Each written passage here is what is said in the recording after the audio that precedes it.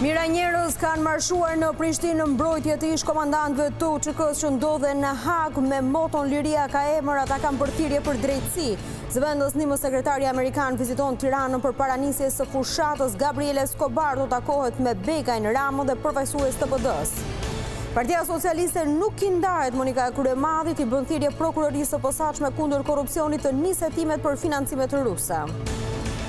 Sali Berisha deklaron nga Shkodra se do të rrëzojë regjimin e Edi Ramës, akuzon Enkelejd Alibeajn dhe Lulzim Bashën si pengje të kryeministrit. Malazezët votojnë për të zgjedhur presidentin gara në balotash zhvillohet mes kreut aktual të shtetit Gjukanoviç dhe kundërshtarit të tij Milatoviç.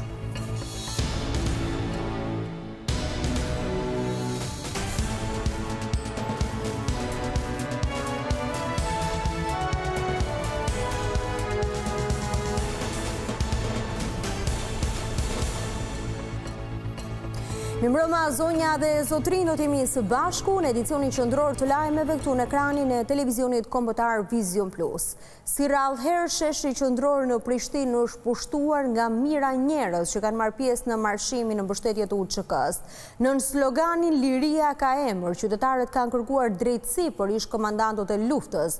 Nesër në Hagë pritet të nisë gjyqi për Hashim Thaçin, Kadri Veselin, Jakup Krasniqin e Rexhep Selimin. Për të treguar mbështetjen për ish-drejtuesit e UÇK-së që janë në burg në Hagë, mijëra qytetarë i janë bashkuar marshimit solidarizues këtë të diel në Kosovë. Me pankarta në duar, Liria ka emër, nuk mund të gjykoni UÇK-në në emër të popullit sepse UÇK është vetë populli, qytetarët përcollën mesazhe për drejtësi, për Hashim Thaçin, Kadri Veselin, Rexhep Selimin dhe Jakup Krasniqin. Ideatorja e platformës, Liria ka emër, ka falenderuar të gjithë qytetarët që në mënyrë masive i janë përgjigjur thirrjes për të marshuar për drejtësi. Ju falenderoj nga zemra të gjithëve që jeni me ne këtu sot. UÇK na bashkon të gjithëve, pa dallim. Thirrja për drejtësi na bashkon. E unë jam e bindur Jam e bindur se ky shesh do të buçojë sërish në ditën e kthimit të çlirimtarëve tonë. Qytetarëve iu drejtua edhe kryetari i Partisë Demokratike të Kosovës, Memli Krasniqi, i cili tha se nuk ka dyshim që Thaçi, Veseli, Krasniqi, Selimi e bashkëluftëtarët e tyre do të rikthehen fitimtarë. Sot, ballëlart e me zemër plot, marshojmë krenar për ata që dikur marshuan drejt lirisë. Marshojmë për të kërkuar drejtësi për ata që nga nesër do të përballen me një proces gjyqësor, në të cilin nuk janë për shkak të emrave tyre të përveçëm, po për shkak të epokës së lavdishme që përfaqësojnë.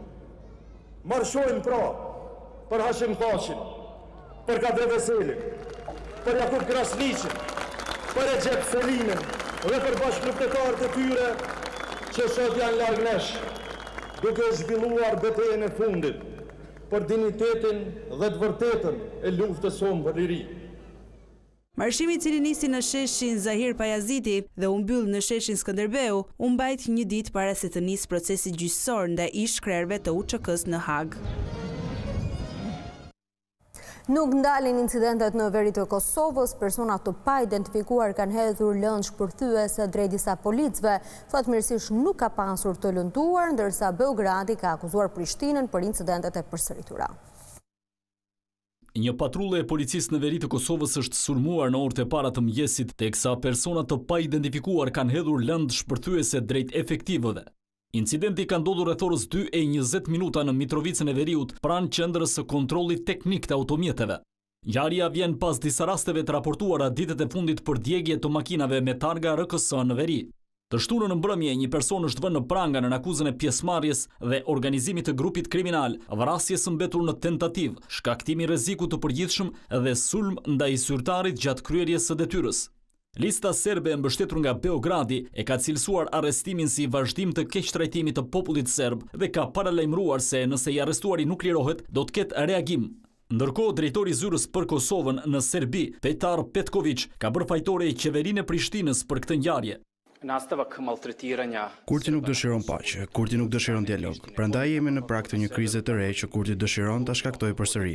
Është mënyra e tyre për të rrezikuar procesin e dialogut me probleme në terren. Arrestime, ngacmime, kërcënime ndaj sigurisë së serbëve në Kosovë dhe në Metohi. Edhe ministri i Jashtëm i Serbisë Ivica Daçiç ka mbajtur të njëjtin qëndrim. Sipas tij, Qeveria e Kosovës po synon të destabilizojë situatën dhe t'i shmanget detyrimeve që ka ndërmarrë përmes Marrëveshjes së Ohrit. Për të folur për zhvillimet e fundit në Kosovë dhe procesin gjyqësor në Hagë ndaj ish-komandantëve të UÇK-së, ne do të lidhemi me analistin Nexhmedin Spahiu. Mirëmbrëma zoti Spahiu.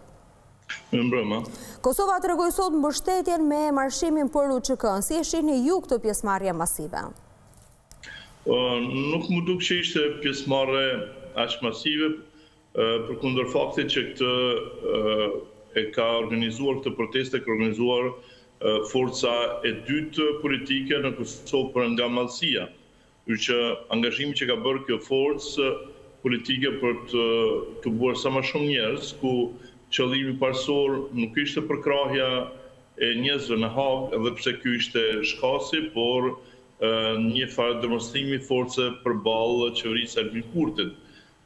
Kështu që një pjesëmarrje e tillë çfarë unë pashë, nuk ishte një do të thosha Një demonstrim i denjë për një parti e cila pretendon ta marrë pushtetin, domethënë që ka që është e dyta për nga numri për nga votuesit në në Kosovë. Pra ju mendoni që është përdorur kauza për të treguar forcën përballë partisë në pushtet?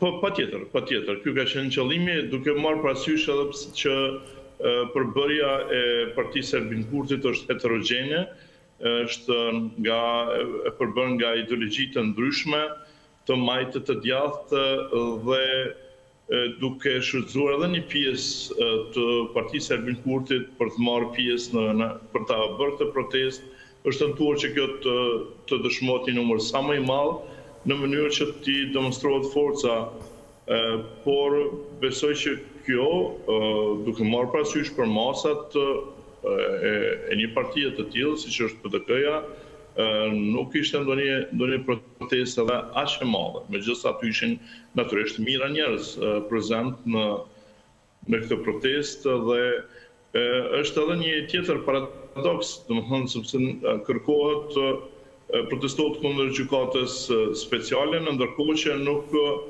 merren në përgjegjësi njerëzit që e kanë votuar gjykatën speciale. Është duket absurde që në protestë të shihësh fytyra të cilat kanë votuar gjykatën speciale dhe tani protestojnë Gjykatën Speciale. Kjo është, ky është një kulm i joseriozitetit të të një deputeti apo të një lideri politik. E kuptoj.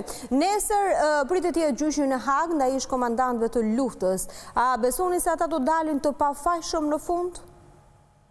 Nuk e di këtë. Kjo është çështje çështje e drejtësisë. Por besoj që gjyqësia ndërkombëtare, nëse nuk është një gjyqësi perfekte, të paktën është mijërafish më më korrekte se sa gjyqësia vendore.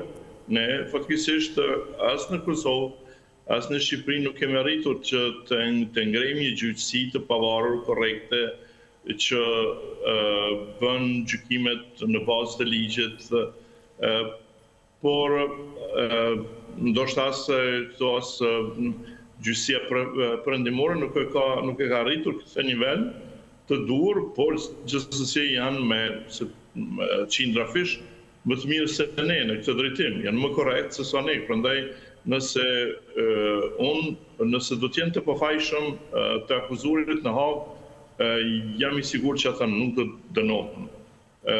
Domethënë, kështu që nëse do të jenë të fajshëm me shumë gjasë, ata do të dënohen. Kjo është, besoj, domethënë në një masë të caktuar, besoj në gjykatën ndërkombëtare shumë më shumë se sa në gjykatat vendore. E kuptoj. Flasim tani për incidentet në veri të Mitrovicës, ku ka pasur një tjetër sulm ndaj policisë. Përse u rikthyen sërish tensionet, sipas jush? Është e qartë, për shkak të, sepse dialogu në mes të Kosovës dhe Serbisë dhe plani franko-gjerman i pranuar në një trysni të madhe nga ana e Perëndimit, Serbia tenton t'i bëjë bisht kësaj marrëveshje dhe akuzat që dëgjuam në storien paraprake para se të më merrnit mua në intervistë, nga zotniu Petar Petkoviq që janë pikërisht ato çfarë ai akuzonte Prishtinën në fakt është ajo çfarë po bën Beogradi. Në fakt Beogradi duke provokuar incidente në veri tenton që ta shpërqendrojë vëmendjen dhe ta bishtnojë planin franko-gjerman, përkatësisht të marrë nga ky plan vetëm ajo që i duhet, që është monedha në këmbim të njohjes de facto de jure nga të pavarësisë Kosovës nga ana e Serbisë në këmbim të asociacionit apo vetëmenaxhimit apo si doni e quani e që është në fakt një autonomi më madhe për serbët në Kosovë dhe këtë autonomi serbët dëshirojnë që ta fitojnë përmes lojërave të ndryshme politike duke mos e dhënë në këmbim njohjen dhe për të ruajtur që për të kërkuar akoma diçka tjetër në këmbim të njohjes. Kështu që situata është e rrezikshme dhe mundësia e luftës është gjithnjë pranë. Domethënë, Asnjëherë nuk është përderisa ky plani franko-gjerman të jetë i zbatuar pikë për pikë, nuk do të mund të themi se kemi shmangur mundësinë e një lufte të re në Ballkan. Zoti Spahiu, ju falënderoj shumë për analizën e bërë në këtë lidhje me Skype. Ju faleminderit dhe ju. Vijojmë më tej me të tjera zhvillime.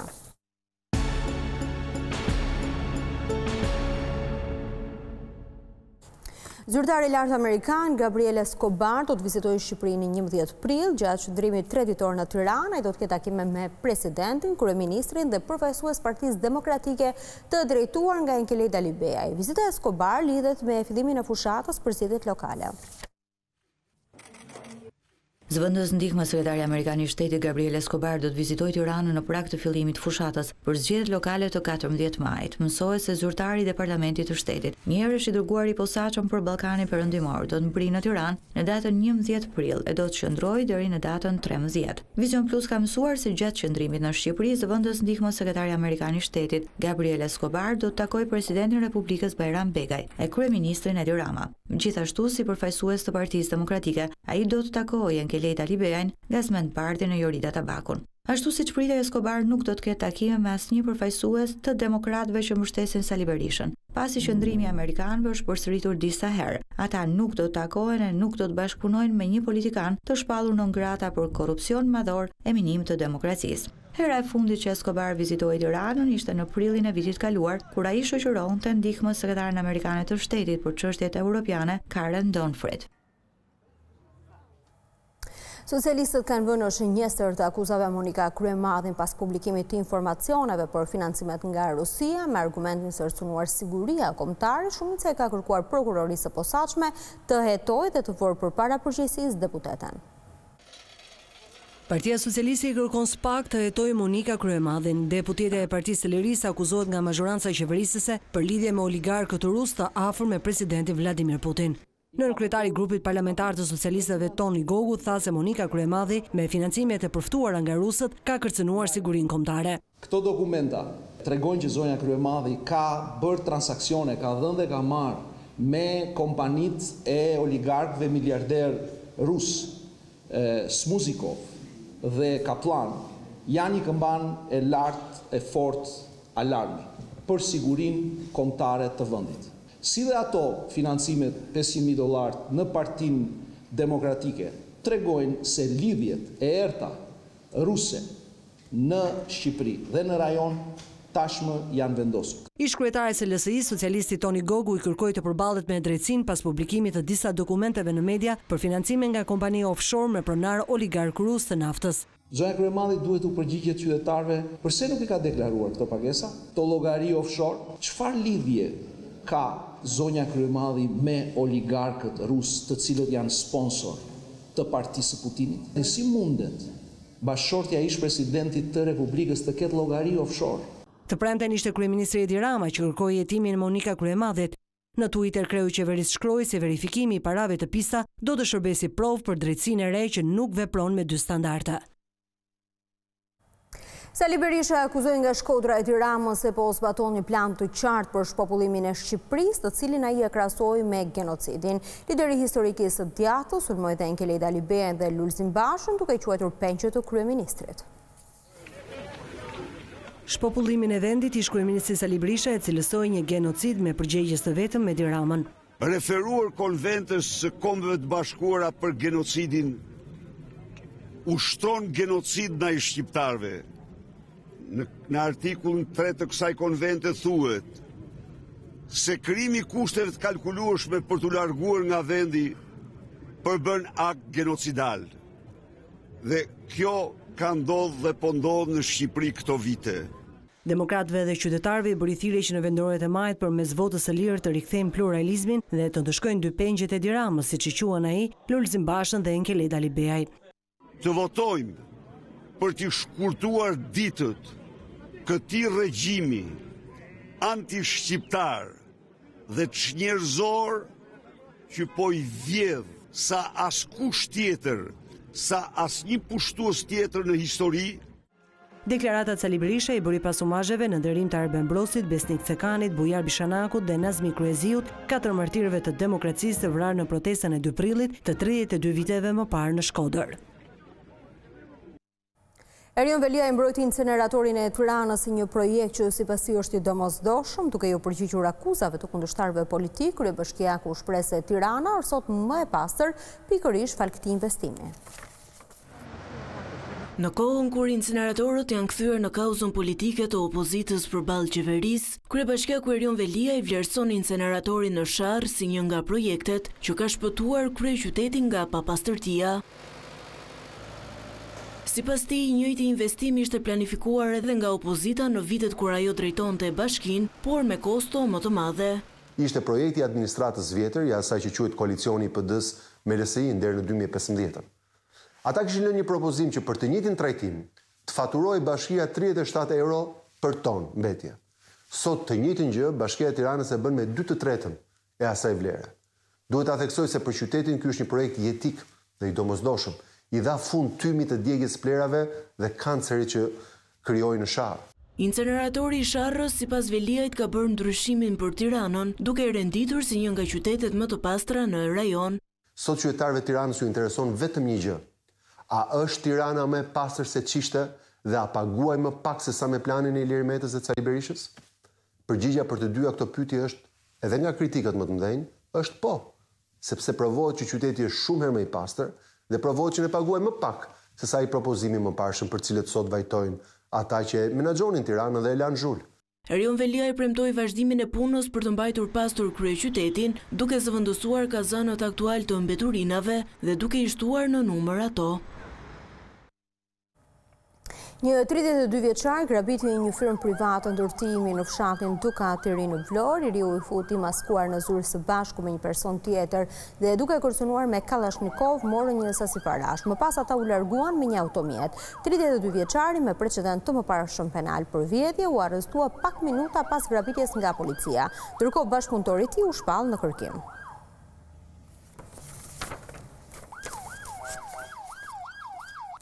Dy pajisje gjurmuese GPS janë vendosur dy automjeteve në pronësi të një qytetari nga Pogradeci. Makinat në emër të Eris Çekanit ishin parkuar pranë prokurorisë së qytetit juglindor, dhe ka qenë pikërisht roja i këtij institucioni që lajmëroi policinë në orën 3.30 të mëngjesit. Ngjarja ka ndodhur në lagjen numër 3, ku roja i godinës së prokurorisë ka vënë re një shtetas të shtrirë përtokë poshtë makinave. Fillimisht është dyshuar për eksploziv, por pas mbërritjes së njësisë anti-eksploziv nga Tirana, është konstatuar se në fakt ishte një mjet gjurmues. Eris Çekani kohët e fundit ka pasur konflikt me disa persona në Pogradec.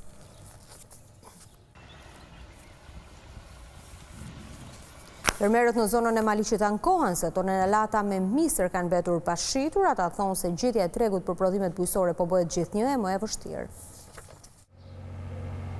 Ndodhemi në fshatin Drithas të bashkisë së Maliqit, vetëm në këtë depo janë njëqind e tetëdhjetë ton misër i pashitur.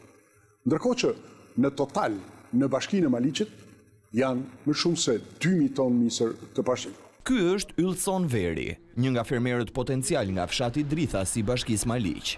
Ai ka më shumë se dyzet e pesë hektarë të mbjellë me kultura të ndryshme bujqësore, tridhjetë prej të cilave me misër. Më shumë se njëqind e tetëdhjetë ton misër i ka mbetur i pashitur. Sivjet është viti domethënë i parë që neve kemi mbetur në këtë gjendje kaq të keqe. Po sivjet që u prodhua edhe me një kosto më të lartë mbeti Pa shitur prodhimi. E vetmja shpresë mbetet që në qoftë se do ndërpritet importi dhe ta marrin fermat e mëdha blegtorale, domethënë pularitë ose fermat e lopëve. Ndryshe fshatarët nuk u smarrohet kjo as më të vështirë. Mosshitja e prodhimit të fermerëve në fushën e Maliqit pranohet edhe nga Drejtoria e Bujqësisë. Zyrtarët e kësaj drejtorie thanë se fermerët kanë kërkuar në momentin e korrjes një çmim më të lartë se ai i tregut. Çka ka sjellë mbetjen stok të prodhimit? Megjithëse i ka mbushur tetëdhjetë e dy vjeç, ai nuk e ndal asnjëherë punën, këpucari i moshuar nga Gjirokastra rrëfen pasionin për zanatin që ushtron prej dekadash. Petrit Koçollari, tetëdhjetë e dy vjeç, është një prej këpucarëve të vjetër në qytetin e Gjirokastrës. Megjithëse në moshë të thyer, ai vazhdon të punojë duke iu shërbyer klientëve për riparimin e këpucëve të vjetra, Zanatin e këpucarit, Petriti e ka nisur qysh në moshë të vogël. Unë kam shumë vitre, që në moshën katërmbëdhjetë vjeç kam hyrë në punë, atje kam mësuar me ca zanatçinj, isha i kujdesshëm. Petriti thotë se ky zanat nuk duhet të harrohet në Gjirokastër. Ta përkrahin këtë zanat se është i mirë. Të rrojnë, të rrojnë, të rrojnë, pa kështu domethënë ndonjë prokopi të madhe nuk ka. Ça bën në hije bisht i çekanit, hajt bën hije edhe zanatit tonë. Por ti është zanat shumë i mirë. Gjatë punës si këpucar ai ka marrë edhe vlerësimet e banorëve të Gjirokastrës.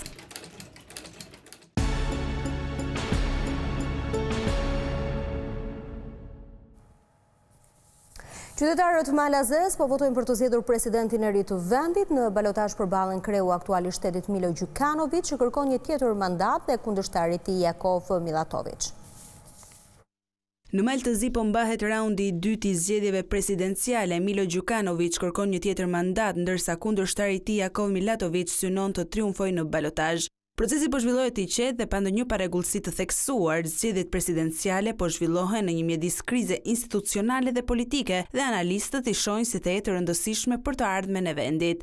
Milo Gjukanoviq është udhëheqësi i Partisë Demokratike të Socialistëve dhe presidenti aktual i Malit të Zi, i cili ka dominuar politikën malazeze për më shumë se tridhjetë e tre vjet, Ndërsa Jakov Milatoviq është kandidati i Lëvizjes Evropa Tani, parti e themeluar në qershor të vitit të kaluar, ai ka theksuar se dëshiron që Mali i Zi të anëtarësohet në BE, megjithëse disa nga partitë që e kanë mbështetur kandidaturën e tij janë pro-ruse.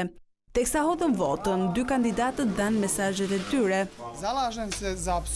Jam absolutisht i bindur se do të bëhem presidenti i ri i vendit, se sot qytetarët e Malit të Zi do ta dërgojnë presidentin aktual në të kaluarën politike. Është e rëndësishme që të gjithë qytetarët të mund të shprehin vullnetin e tyre dhe besoj se ashtu do të jetë.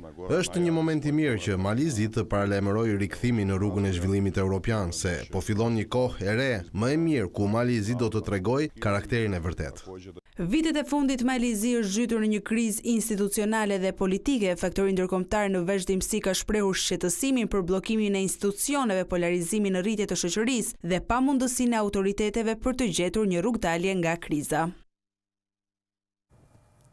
Zgjedhjet presidenciale konsiderohen vendimtare për Malin e Zi, analistët besojnë se nëse humb betejën në balotazh kreu aktual i shtetit Milo Gjukanoviq mund të shkojë drejt fundit politik.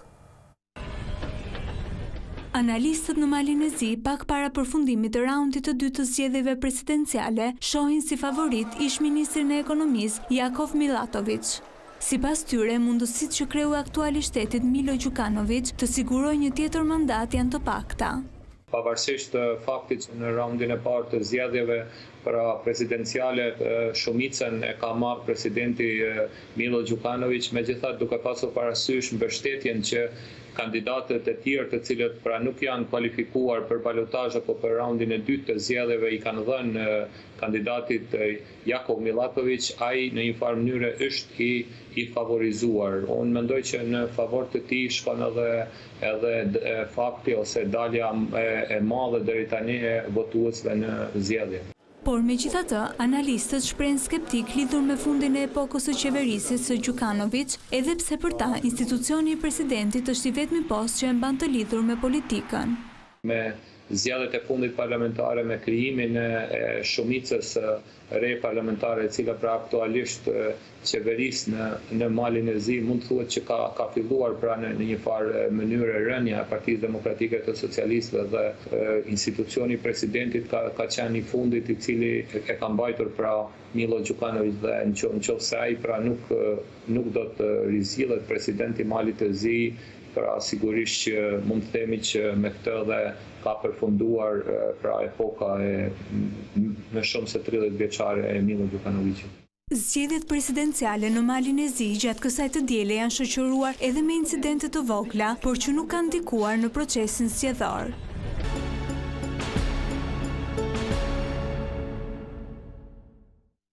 Për herë të parë në Korçë është publikuar një revistë mbi artin mesjetar, studiues dhe akademikë kanë sjellë studime mbi trashëgiminë e periudhës bizantine. Mbi artin mesjetar është revista e re që vjen për herë të parë në Muzeun Kombëtar të Artit Mesjetar të Korçës.